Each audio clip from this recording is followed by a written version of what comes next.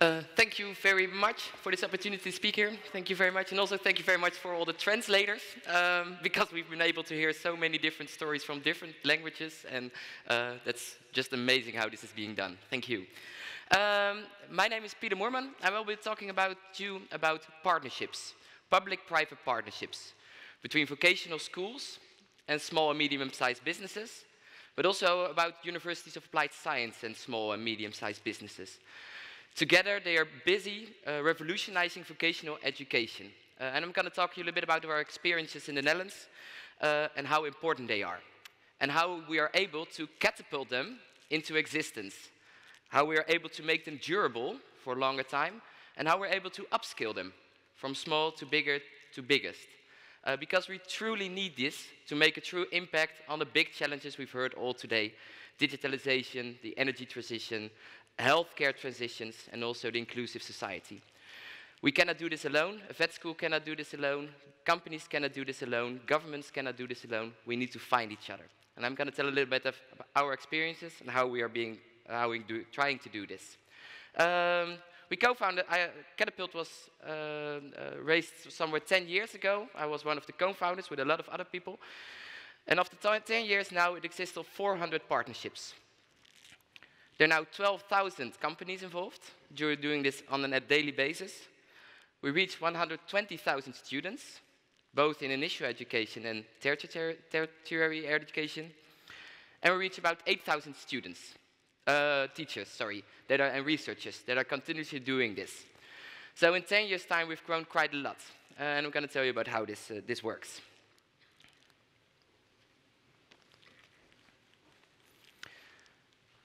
These pictures are just a few of the partnerships and the themes they are involved. How are these partnerships started? They are all based in a region and based on the economic strength of this region and the challenges that are most urgent. In the EU language is also the smart specialization strategies and those kind of themes. So what they do is they focus on what is truly necessary within the region and what the small and medium-sized companies really need. Is it about digitalization? Is it about uh, uh, making the cities more green? Uh, but even what you see, is it about uh, genes development and making genes more sustainable? Is it about the energy transition or technological de developments? It's about what these companies in the region need to develop further and make, make them more stronger. Uh, and the main question, of course, in each of these partnerships is how to get enough well-skilled people to make these transi transitions possible. So, who invests in these partnerships? Um, there are four parties involved. It's the national government in the Netherlands who really supports these partnerships, and that's going to be crucial, as I will mention later on, because it takes time to develop these partnerships. Second, it's the regional governments, because of the alignment with regional strategies. But those two parties only facilitate and make the first steps possible. The true investments come, of course, from the schools and from the companies that start small, become happy with the activities, and really invest in bigger locations, students, lifelong learning courses, etc. So there are four parties involved and they combine each other's strengths, and rather than doing all separate activities, they do it in one partnership. So to make it a little bit concrete, what, what do they do? I'm going to give you three examples. Uh, there's one partnership on the civil, civil engineering. And we've heard in an earlier story already in uh, Indiana about the shortages of uh, staff as well. Um, they one of their focus is increasing the number of STEM students. They applied a really innovative approach together with the companies, and they were able to increase the inflow of students by 20%. This is, when we heard about this result, we were quite astonished because usually the number is going down. Uh, but they managed to do this. Um, this is one of the results because working together and really apply, applying these solutions uh, works. And of course, what we're doing now is applying that solution to other uh, partnerships as well. A second example is the lifelong learning, or reskilling and upskilling. This is one example of, uh, in the digitalization of Make IT work. Uh, and after a couple of years of developing, because it takes time, they're now able to move a thousand people a year from sectors that have less employment into the IT sector just to make more people available. The third example is about innovating companies. Uh, because, as we mentioned, as we heard earlier, schools and VET schools can have a tremendous effect on innovation and the implementing of smart solutions. Um, and one of example is the one of for Tech for Future that is able to uh, generate, uh, that's doing a lot of work with these small, medium-sized businesses, and to get a feeling of the scale, they're able to raise 5.2 million uh, funding from companies that are so happy with the solutions, and so they're able to upscale and make even more activities possible. So combat shortages, uh, upskilling and reskilling, innovating companies with projects, and of course making the whole education better. All things that would not have been able to achieve uh, on separately.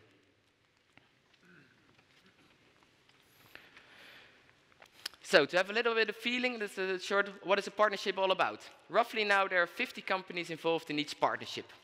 When I was here two years ago, this average was still 40. We do this impact measurement every, every two years. So you see these partnerships on average are growing uh, and they're becoming more stronger.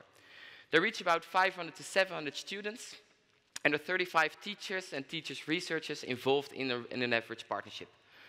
Each partnership is unique, so these numbers uh, don't say everything, but you get a little bit of feeling of the, of the size. And each partnership, of course, starts pretty small with about 10, 15 companies, and once you've developed your activities, they become bigger.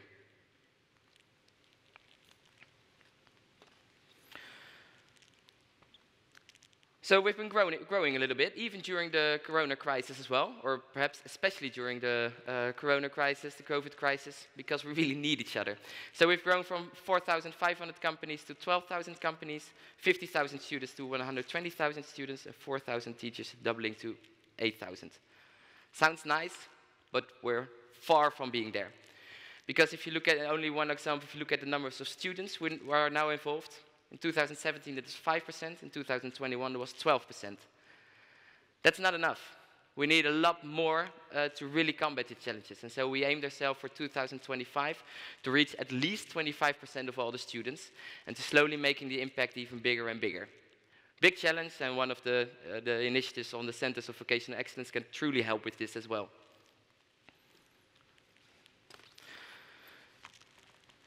So, why Catapult and why can't these partnerships just develop them themselves? Catapult is a network that connects the people in these, in these partnerships. It provides the tools and knowledge how to do this, uh, shows best practices and failures, and also helps with the really tough things. And it's a network, Catapult is, we are also calling it We Are Catapult, so it's the members in the network uh, learn from each other and help each other. Why? Because partnerships are a lot of fun, they have a lot of impact, but they're also very hard to establish. Um, it needs, there's no blueprint. I can't give you a document saying, okay, if you follow these steps, then it's going to be all right. We've got some guidelines, of course, but it, it's, it's, depending on the sector, your own region, your situation, uh, and even within a very tiny country as the Netherlands, the differences are huge. So imagine also in a European scale. You need creativity, agility, really to, to find out what these companies want, what your teachers want, what the students need, and how you align it to a regional uh, policy. You need problem-solving behavior. You find difficult problems, and it's impossible to solve these problems yourself. Um, so you need each other. And so you need a kind of like a catapult network to help each other, help each other thrive, and help each other with these solutions. Uh, but also vice versa you probably have unique things in your own school or with your own company that you really want to share as well, that other people can learn from. And that's the entire essence of the Catapult network. People bring in their ideas, bring in their knowledge freely, and people gain a lot from it as well. So that's the idea. Um, so and I'm going to share with you five lessons we've learned over the years on how to create these partnerships and how to, how to make them a little bit uh, easier. The first is focus, focus, focus.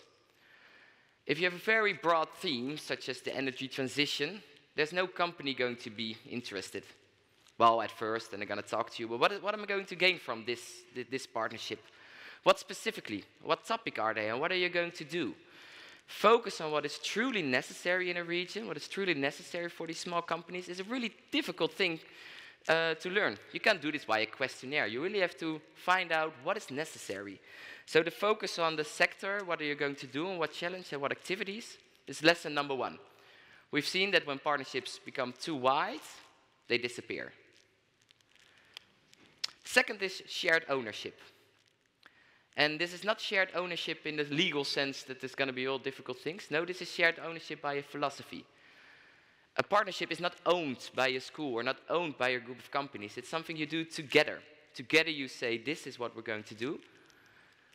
You're going to do this, you're going to do this. We share the cost and we share the benefits. And this philosophy of shared ownership is perhaps the most hardest and but also most challenging thing, but also most rewarding thing. Because once you have this philosophy within your school, within the company, the, the results will be enormous. And we see that they most, most partnerships are able to achieve a lot more than they thought beforehand. Third, and this is where the national governments kick in, and also regional governments, the costs come before the benefits. It takes time to develop a partnership. And companies are not going to pay for, well, we're going to just partnership up. That's not, not realistic. They're going to pay for real concrete things. So you need a little uh, startup, and you need to realize that it takes time for a partnership, and if you keep, you keep your eyes on the ball on the concrete activities, the benefits will come. But it takes a little bit of time. And that's why we encourage and challenge the governments as well to invest in these kind of things. Otherwise, this startup won't be possible. The fourth, uh, very important thing to realize, uh, are the speed differences uh, between companies and schools. They live in a different time frame. Uh, schools are normally thinking, okay, we have, we've got students coming in, they have to get a diploma in a couple of years. This is kind of the timing where they work with. Um, especially the smaller companies, they probably won't survive in three months later, so they need results in two months.